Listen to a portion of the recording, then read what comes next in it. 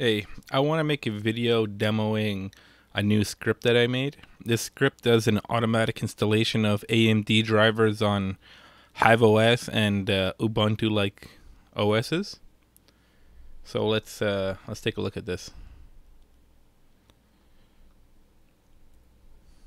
So this script currently has 11 options for different drivers that you can download directly from Hive OS's repositories. If you need further help, you can go on the HiveOS forum and you can find my post and you can leave a comment below. And if you have any if you have any bugs, uh, leave a comment with a uh, description of what's going on, and I'll see if I can help you troubleshoot it. But essentially, to get this script running, you need to run these three commands. The first command would be a wget to download the script. The next command is a uh, chmod ex- plus execution rights, so you can execute the script. And lastly, you would run uh, dot slash AMD, which would or dot slash AMD underscore install, which would install the AMD drivers for you. So let me demo this. As you can see over here, this is uh, my miner and it's running an AMD version 17.50. So let's update the drivers on this one. So in order to do this, you're going to have to SSH into the miner. Uh, you can, if you're local, you would have to do it through PuTTY or MobaXterm, or if you want to do it through the browser, you can select Hive Start or Hive Shell Start, and that would start the shell for you in my situation, I'm local to the machine, so I'm going to open up the shell. And I've already SSH'd into the machine, and I've already run the uh, wget in the chmod command. So as you can see, the AMD install script has execution rights, so it's indeed runnable. So let's clear the screen and let me uh, run the script. So let's demo how this goes. So enter your choice of drivers. Uh, I'm going to select number 8 now let's see how this goes. This is going to take a few minutes to go through. I'm going to show you how the entire process looks like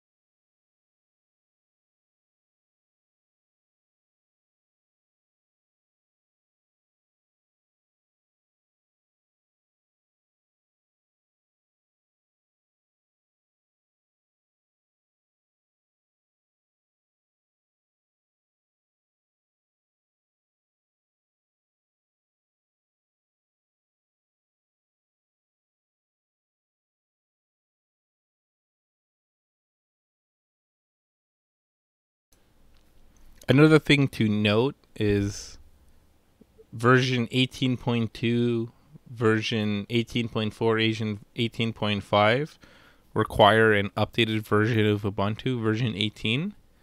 So if you're not running uh, the Bleeding Edge OS, you're not going to be able to install 9, 10, and 11. So you would have to install the Bleeding Edge OS in order to install those drivers. But for uh, for RX cards, you can install any any version between 16.4 to version 18.1 on the current uh, stock version of Ubuntu that comes with Hive OS.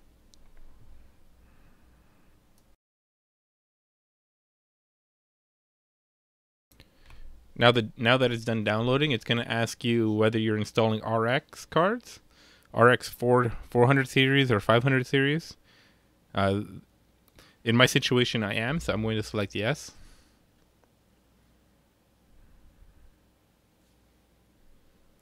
Now it's asking me if I want to remove the current drivers that are installed. I do want to, so that's a yes. Do I want to continue? Yes.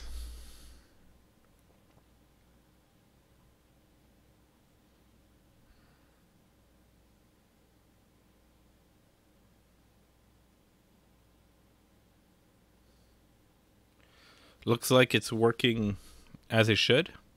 Uh, my script does fix a lot of the uh, issues that are in AMD's install script that they provide to the public. There's a few bugs in it, so it fixes some of the 32-bit de- dependency issues that you have with those libraries.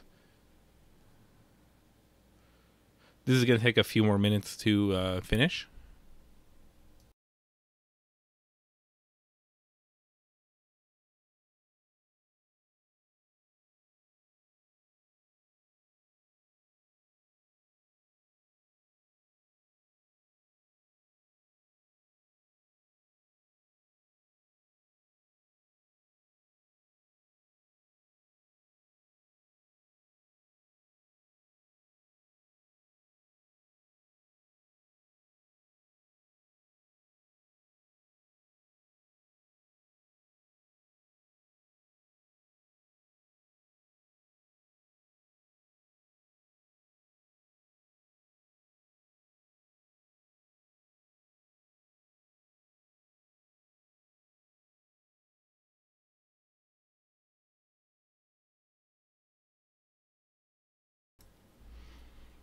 If you see this part where you see like uh, the progress bar at the bottom and it's loading, that's a very good sign. That means the drivers are in fact installing.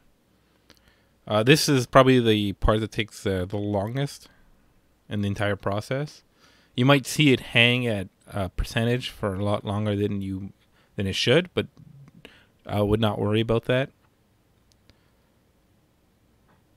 Usually, when installing drivers, systems appear to hang, but they're not actually.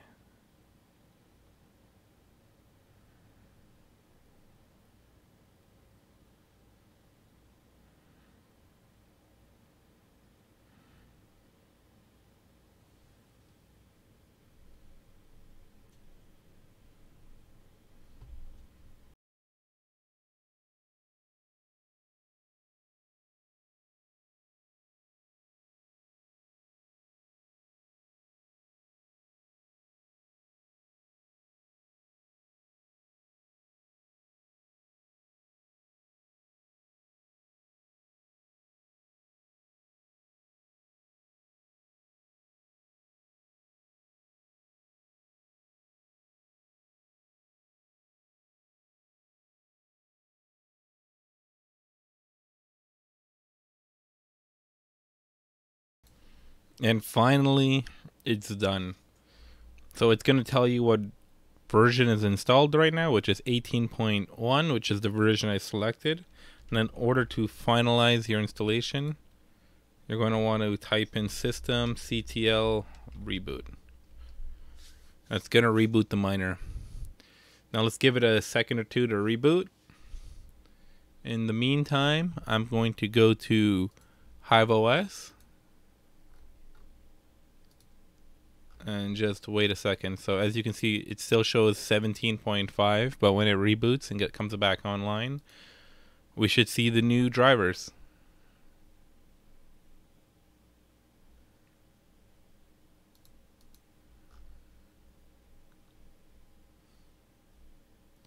This will take uh, about a minute.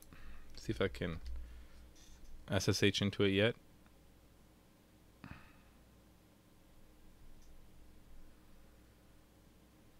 Yeah, it's booting up.